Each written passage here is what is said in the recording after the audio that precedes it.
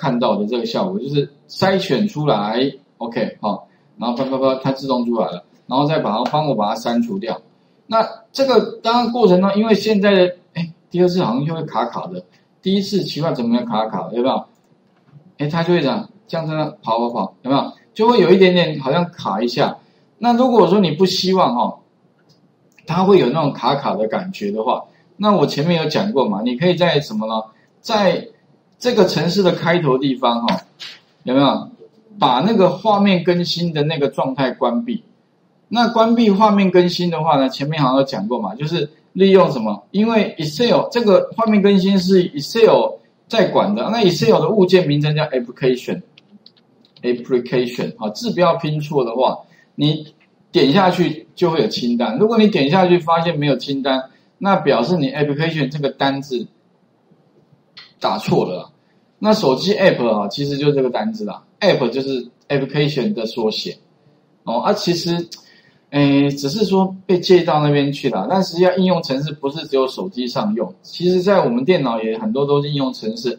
那画面更新就是画面的 screen，所以你打一个 s，其实打一个 s 就出来了。就这个这个属性，这个属性呢里面哈，如果要更新的话就等于 true，如果不更新的话，就像我们刚刚画面预设是 true 啦，就是会更新。那如果我不希望更新，你把它 false 掉。然后记得哦，最后一行哈，在 end sub 的上面一行，请你特别注意哦，请你再把这个画面更新哈，记得要等于 true 哦，再把它打开，不然将来呢哈。所有要更新画面的部分都不会更新，那当然会造成一些问题。OK，所以 我们试一下，记得这个哈，这个是这个应该不难记的，这个而且当然蛮重要的。以后你只要遇到什么，遇到就是你那个在执行那个回圈的时候，会有那个画面，只要那个闪来闪去啊，那个跑一些那个什么更新的部分，都可以用这个方法。把那个画面更新的部分哈，把它关闭。OK 哈啊，开头结尾先关嘛哈，等于啊，其实这还蛮简单，等于它会等于 false，有没有？有点像开关一样啊，把它关掉了啊，最后的话你再按一个等号，它也会开关嘛，等于 true。